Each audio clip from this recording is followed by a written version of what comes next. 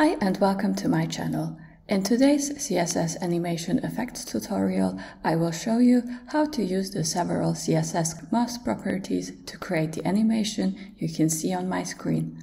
It can be used in many ways to achieve various cool CSS effects. Another example I have come up with is this CSS animation that I have added to the employees section of an about page. I will link the source code and the written tutorial, which is available on my blog for both projects below for you. To start, I have a basic project already set up. In the HTML, I added the head and body tags and also linked the style sheet. In the CSS file, I have imported the Roboto Condensed font family, set up some CSS variables in the root, and for each element, I reset the styling and applied Roboto as the font. The project also has an image folder which contains a circular SVG and the two photographs we will be using. I will link to the SVG and the images in the description. I also have live server enabled so the page reloads automatically when I save changes. Let's add the HTML markup. I am adding a header tag which will contain all the other elements for this project. The first element I am adding is a div with the ID image underscore one. This will hold the image showing a crowd in central London waiting for the bus.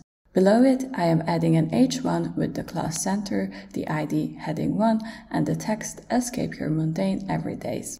All this content will be visible before the user hovers over the header area and the CSS animation executes. Next, we are going to add the image and the text that will be shown after the animation. I am defining a div with the ID image2. Inside this, I am nesting another div with the class center. Then inside this div, I am adding a paragraph with the ID heading 2 and the text and Discover Adventure. I am also adding another paragraph for the subtitle and a button to encourage visitors to book. This is the HTML done. Let's add the necessary CSS. First, I am making the header as wide and as high as the page by defining width as 100% and the height as 100 VH, which makes the element as high as the viewport of the browser. I am also giving it a relative position. This is important as I want to position all the background images relative to the header. Next, I am defining some rules for the elements with the IDs image1 and image2. They have some CSS properties in common, so I am setting them for both at the same time to avoid repetition. To remove them from the normal document flow, I am adding position absolute here so I can position them freely on the page. Then I am adding inset 0. This basically tells the browser that I want the divs to be 0% away from the left and the right sides of the header and 0% away from its top and bottom. By doing this, I can achieve that these divs are just as big as their relative position parent, which is our header element. I am also adding the background size cover property here to ensure the images fill out the complete area that is available. I don't want the images to get repeated, so I am adding background repeat, no repeat. The background position should be center, but I made a typo here and only noticed after recording. The project will still work though. You can use this property to define whether the position should be center, to the left, and so on. Next, I am assigning a background image to the first div. I want to remove the color, so I am adding a filter with a grayscale of 100%. I also want to make it a bit darker, so the yellow color of the headline pops more.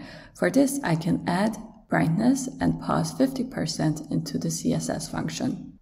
To ID image 2, I am also adding a background image. Then I am defining the property mask image and provide the URL to my circle SVG as the URL parameter. Please add both mask image and hyphen WebKit mask image properties so it works in nearly all browsers.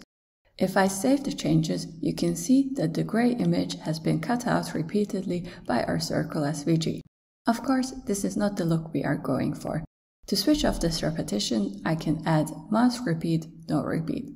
Now there is only one cutout in the top left corner.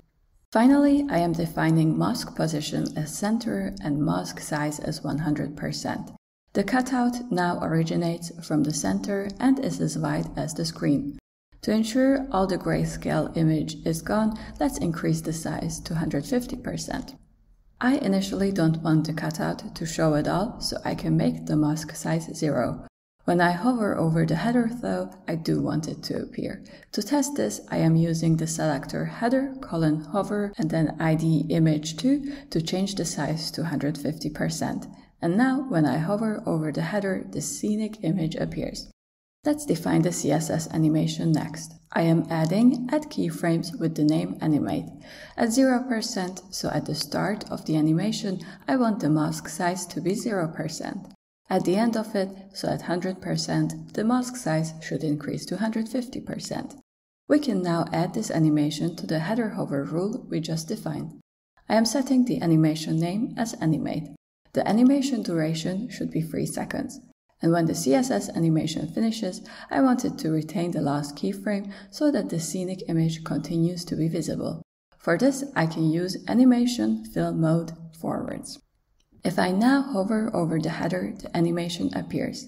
The only problem is that when I stop hovering over it, it immediately bounces back to the old photo. We can control this with the CSS animation playstate property. Simply add animation playstate paused to the image 2 selector and animation playstate running to the hover rule. Then copy over the animation name, duration, and fill mode rules to the image 2 selector. Now it all works as expected. The only thing left is to style the text. To keep this video short, and as it does not relate to the CSS animation, I am not going to go through it much. All I am really doing is I position anything that is in the center class in the middle of the screen. To the headings, I am assigning a responsive font size and am adding text shadows, font weights, and colors. The complete code is linked in the description, so if you would like to style it the same way, you are welcome to reference it. Additionally, I have also created a written tutorial on my blog, which is linked in the description. This also explains how to do the about page animation, which you can see here. If you like this video, please like and subscribe. For any questions or comments, please leave them below and I will try to answer. Thanks so much for watching and see you next time.